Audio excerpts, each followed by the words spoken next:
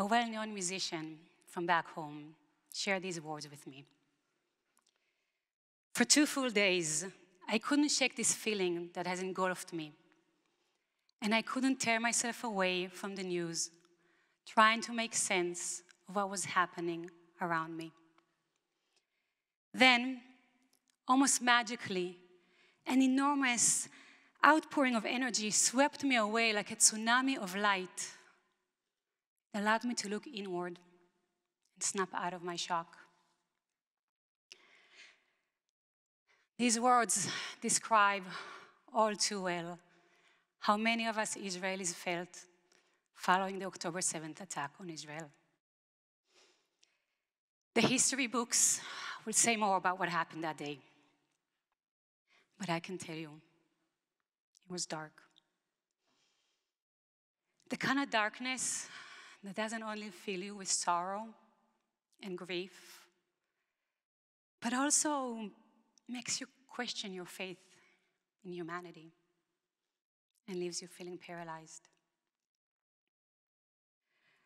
That's how I felt, so much so that I wasn't sure I'm going to have the strength to stand in front of you today. I was born and raised in Israel, and my family and loved ones are over there. So believe me when I tell you that what is happening in my home region is not simple. It's painfully complex. Many innocent lives are lost on both sides of the border. And it seems like dark days are still ahead of us. But October 7th was different than anything Israel has ever experienced before. That day, something inside of us broke. And to be honest, sometimes it feels like we're spiraling down towards the abyss, and hope seems like a faraway concept. And then an instinct grabs hold of me. Maybe it's the instinct you develop when you grow up in a part of the world that has known so much grief. And that instinct is desperately trying to grab onto something, desperately searching for a spark of light in the darkness. We don't have, always have access to a dazzling sunbeam, and I guess that's okay. The stories that I want to share with you today have taught me that in difficult times, when there is no big source of light to be found, a small beacon can make all the difference. Stories like that of a six month old baby whose mom went missing on the way to a party. That was the party that was ambushed by Hamas In the desperate attempt to track her down, this baby's dad agreed to be interviewed on the news. In his interview, he shared how much his baby girl needs her mom back.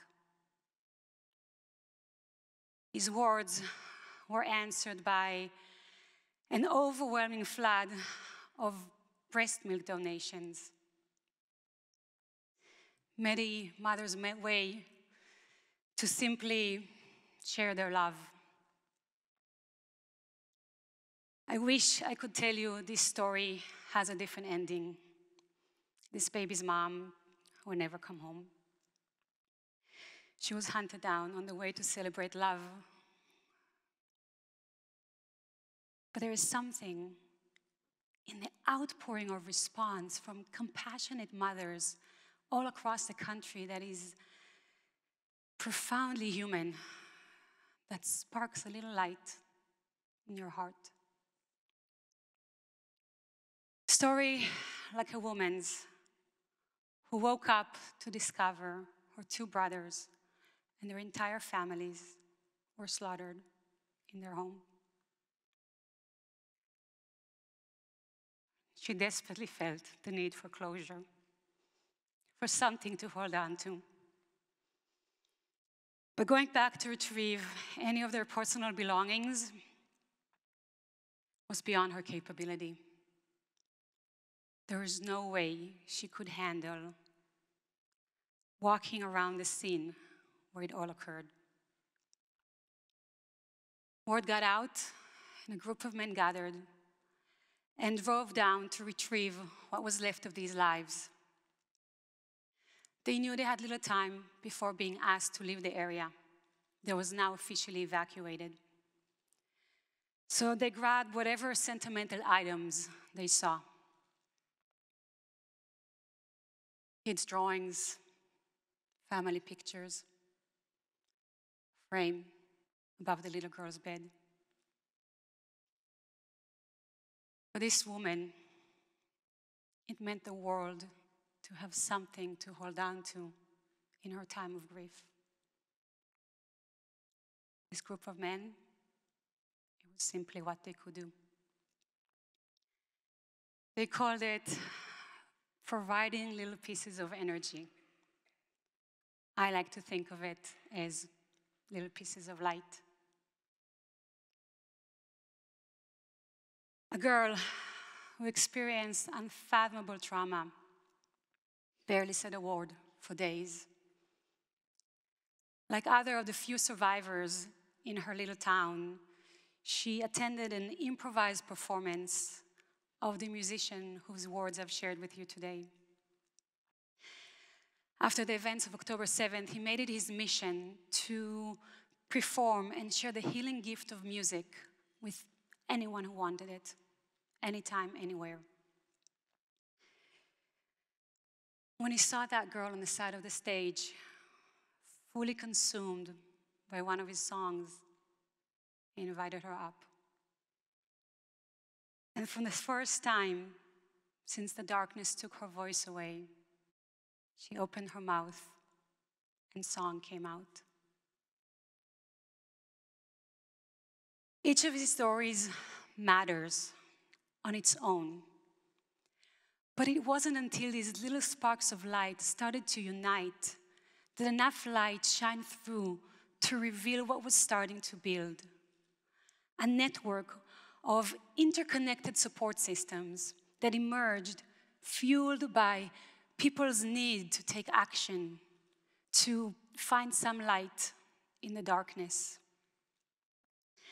And as the official bureaucracy wheels were still squeaking, this network started to grow within hours because people are stronger than systems. And there was so much that needed to be done. There was a need for food, a need for medication, clothes, housing, a need to locate survivors. Each of these needs is unique, challenging in its own way. Food is different than doctors, is different than pharmacy. Taking care of the remaining family members who lost their loved ones is different than taking care of those who know their loved ones are still out there alone in the dark. And this all needed to be managed, coordinated, supervised, and it all needed to be handled with care. Once the realization that the task in hand was greater than anyone can take on their own started to sink in, connections started to form. The cry for help was heard loudly and clearly. And through personal networks and social networks, six degrees of separation turned into one. Chefs who emptied their pantries to provide meals for hospitals and evacuated families came together to make sure not a single drop of food is being wasted. Doctors came together with pharmacists to provide vital medication that the evacuees have left behind. Hotels were converted into housing, unfinished buildings quickly fixed up. Families opened their homes to the families whose houses were set on fire.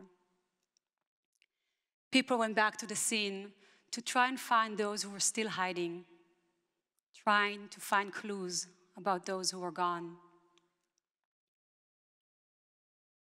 And it was all done by volunteers, people like you and me.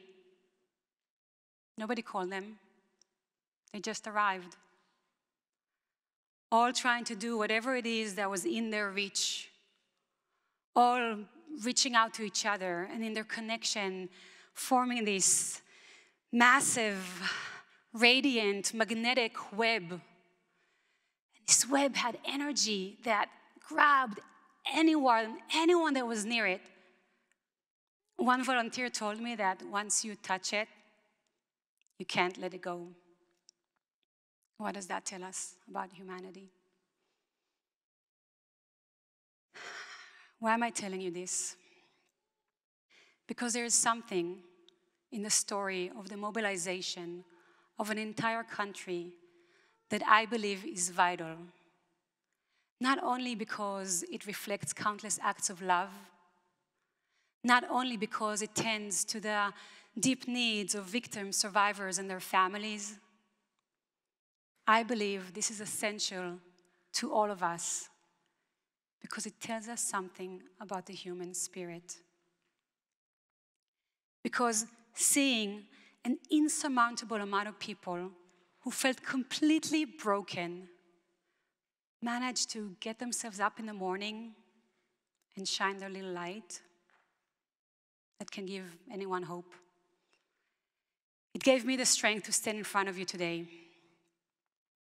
And not only did they manage to find the strength to focus on doing, and not only did they find some light in the darkness, they all somehow managed to find each other. They managed to get together in this massive makeshift system that in scale surpassed the government and is still growing and developing. Every day, they get to be a part of something that is bigger than themselves, bigger than any of us would have imagined. And that is their source of light. There's power in that.